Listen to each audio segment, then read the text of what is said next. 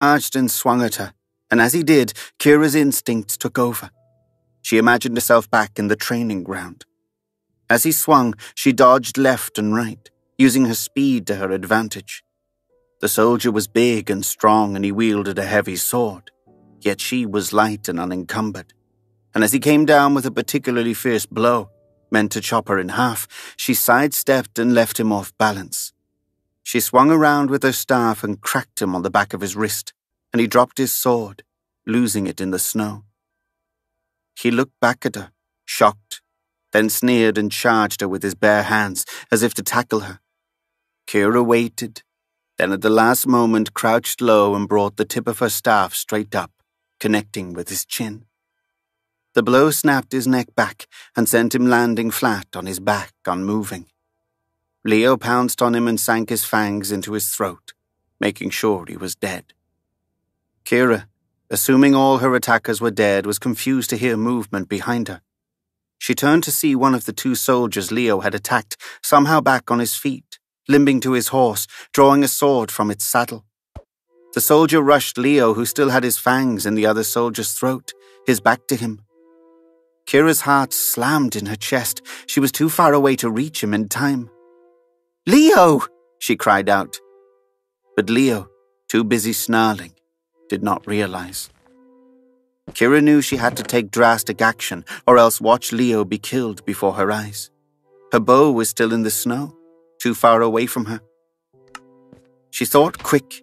She raised her staff and broke it over her knee, and it broke in two. She took one of its halves, its tip jagged, took aim, leaned back, and hurled it like a spear. It whistled through the air, and she prayed it find its target. Kyra breathed with relief as she watched it pierce the soldier's throat right before he reached Leo. The man stumbled and fell at Leo's feet, dead. Kyra stood there in the silence, breathing hard, seeing the carnage all around her. The Five Lords' men sprawled out in the snow, staining it red, and she could hardly believe what she had done. But before she could finish processing it, she suddenly detected motion out of the corner of her eye. She turned to see the squire, running for his horse.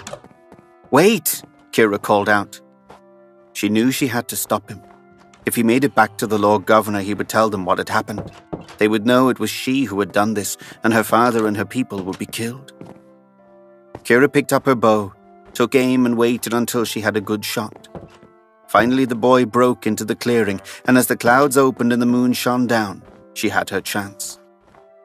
But she could not take the shot.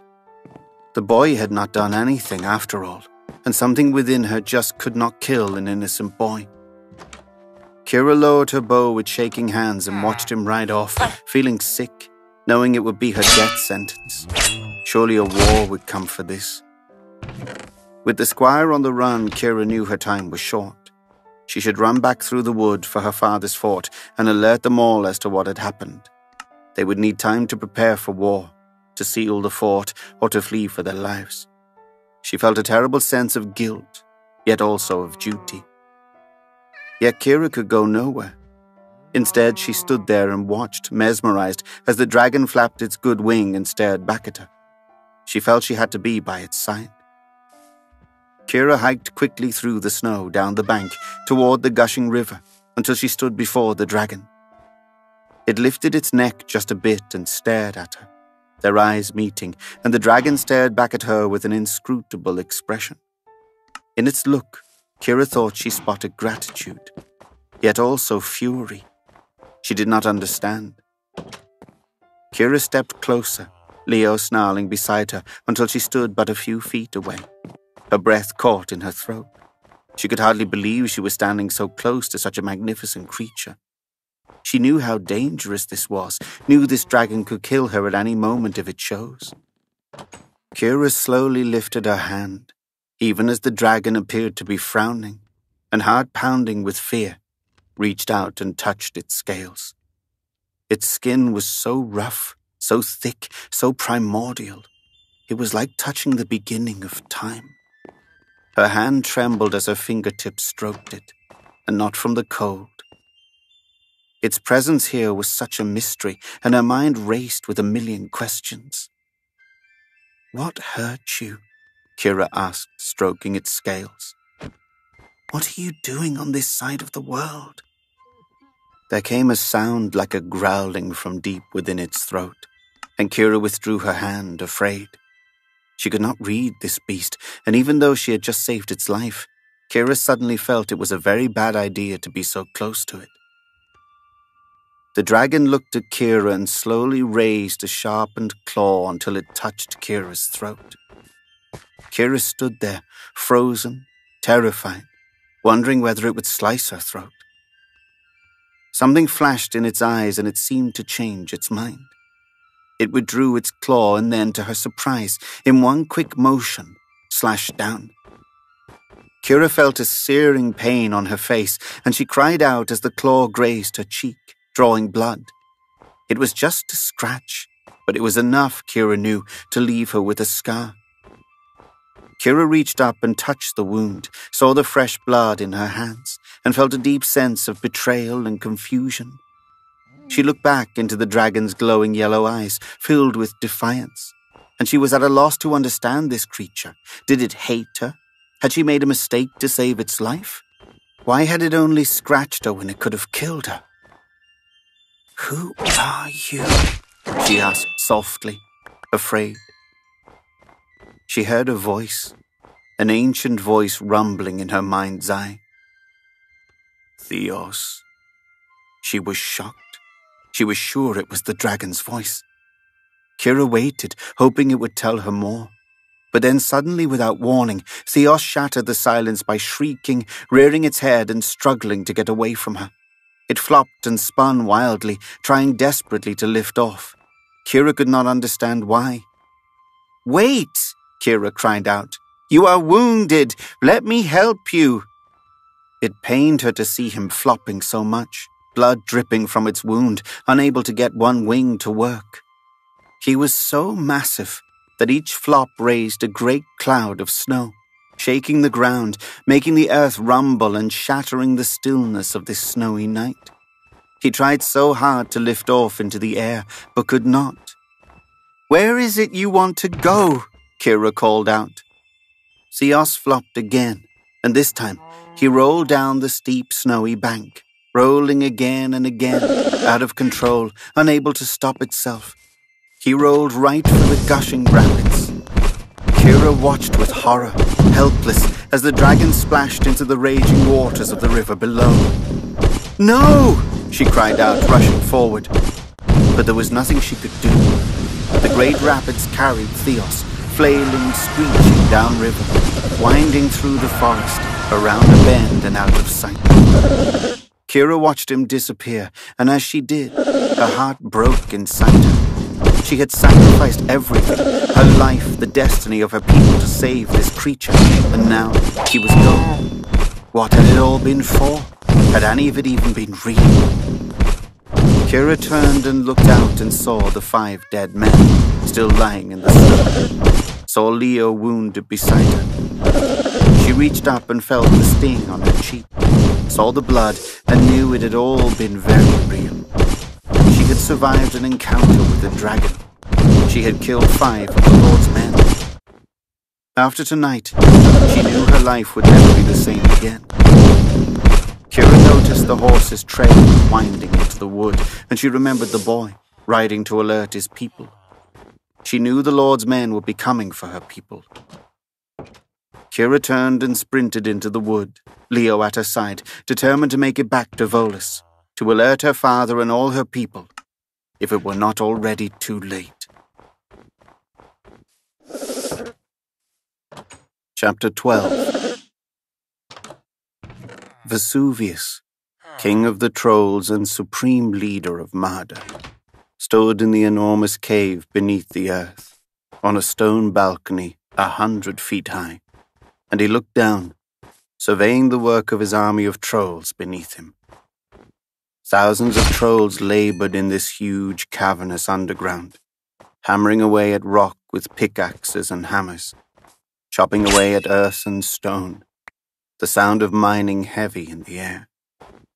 Endless torches lined the walls while streams of lava crisscrossed the floor, sparking, emitting a glow, brightening the cave and keeping it hot while trolls sweated and gasped in the heat below. Vesuvius smiled wide, his troll face grotesque, misshapen, twice the size of a human's, with two long fangs like tusks that emerged from his mouth, and beady red eyes which enjoyed watching people suffer. He wanted them, his people, to toil, to work harder than they'd ever had, for he knew it was only through extreme toil that he would achieve what his fathers could not. Twice the size of a typical troll, and three times the size of a human. Vesuvius was all muscle and rage, and he knew he was different, knew he could achieve what none before him had. He had hatched a plan that even his ancestors could not conceive, a plan that would bring glory to his nation forever. It would be the greatest tunnel ever created, a tunnel to bring them beneath the flames, all the way into Escalon. And with each fall of the hammer, the tunnel became just a little bit deeper Not once in centuries had his people figured out how to cross the flames en masse. Individual trolls were able to pass through here and there, but most died on these suicide missions. What Vesuvius needed was an entire army of trolls to cross together at once to destroy Escalon once and for all. His fathers could not understand how to do it, and they had become complacent resigned to a life here in the wilds of Mana. But not he. He, Vesuvius, was wiser than all his fathers, tougher, more determined, and more ruthless. One day, while brooding, he had thought if he could not go through the flames or over them, then perhaps he could go under them. Captivated by the idea, he had set his plan into motion at once and had not stopped since, rallying thousands of his soldiers and slaves to build what would be the greatest creation of the Troll Kingdom a tunnel beneath the flames. Vesuvius watched with satisfaction as one of his taskmasters whipped a human slave, one they had captured from the west, chained to the hundreds of other slaves. The human cried out and fell, and he was lashed until he died. Vesuvius grinned, pleased to see the other humans work harder. His trolls were nearly twice the size of the humans, much more grotesque looking too, with bulging muscles and misshaped faces, filled with a bloodlust that was insatiable. The humans, he'd found, were a good way for his people to vent their violence. Yet as he watched, Vesuvius was still frustrated. No matter how many people he enslaved, how many of his soldiers he put to work, no matter how hard he lashed them, how much he tortured or killed his own people to motivate them, progress remained too slow. Rock was too high, the job too massive.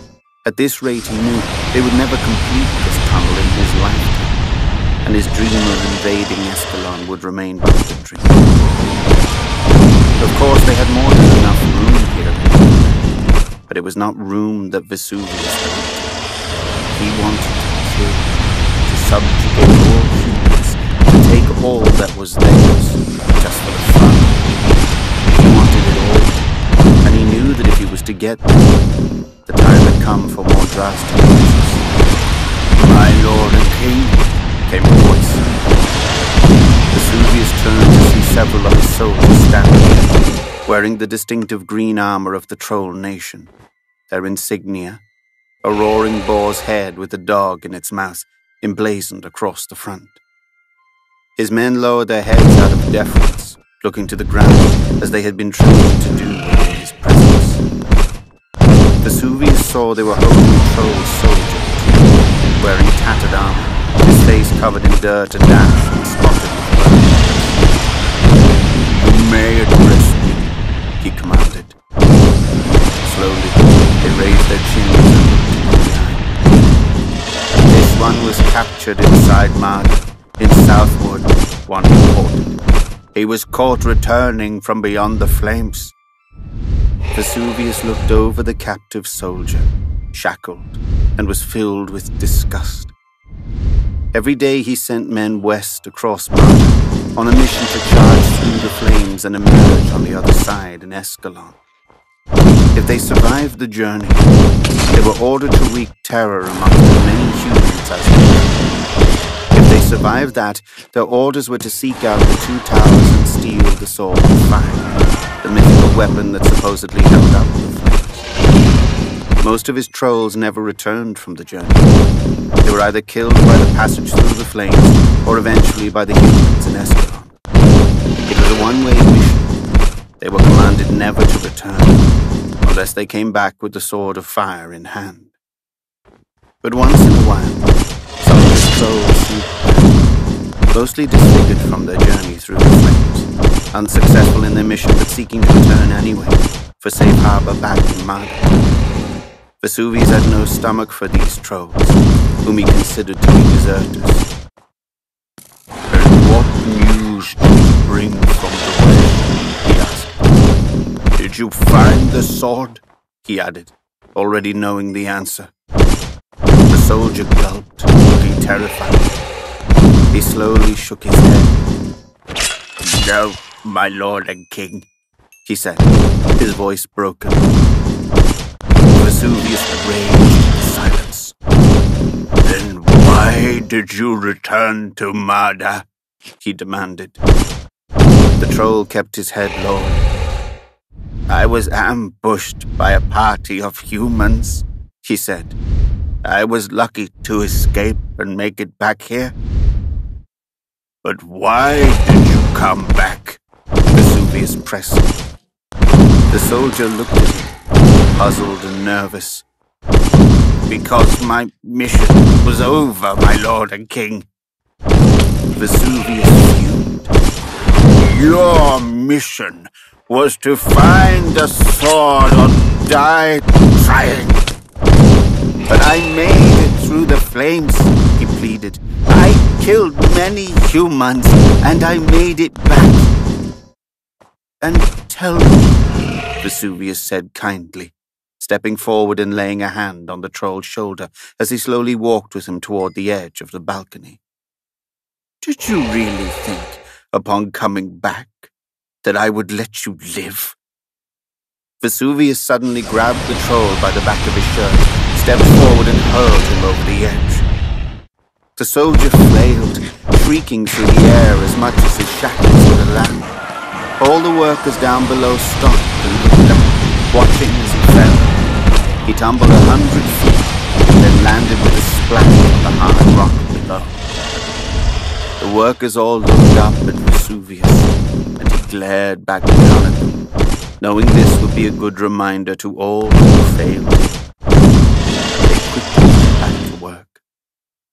Vesuvius, still in a rage and needing to let it out on someone, turned from the balcony and strutted down the winding stone steps carved into the canyon wall, followed by his men.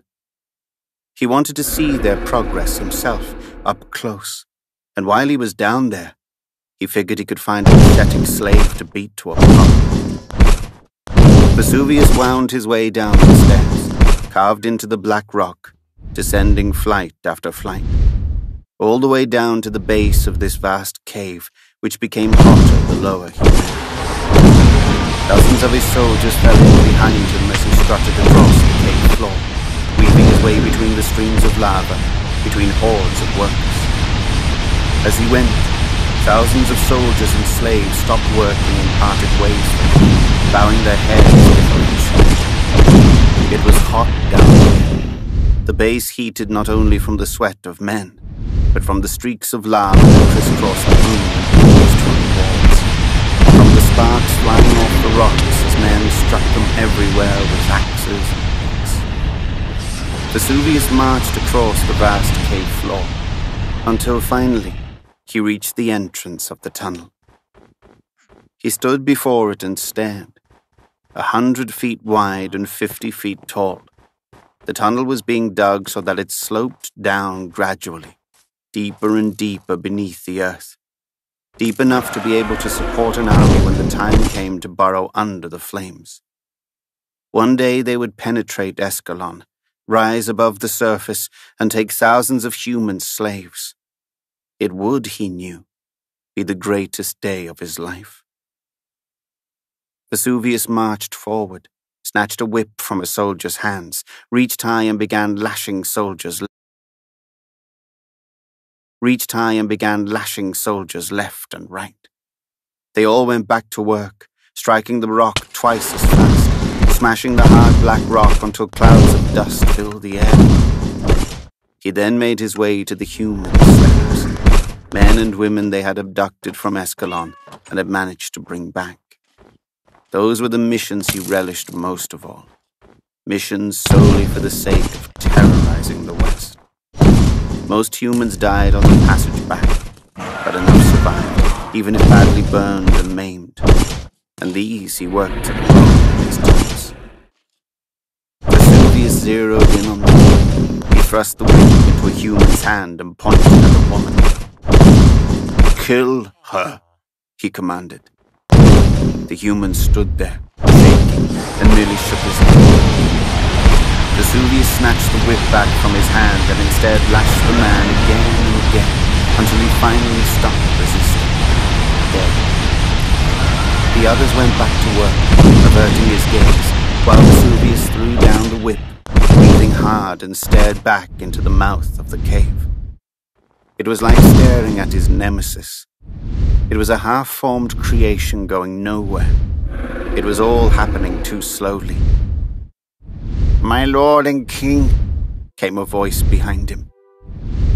Vesuvius turned slowly to see several soldiers from the Mantra, his elite division of trolls, dressed in the black and green armor reserved for his best troops.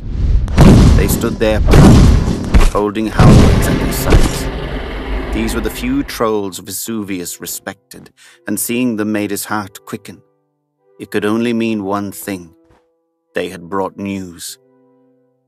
Vesuvius had dispatched the mantra on a mission many moons ago to find the giant that lurked in Great Wood, rumored to have killed thousands of trolls.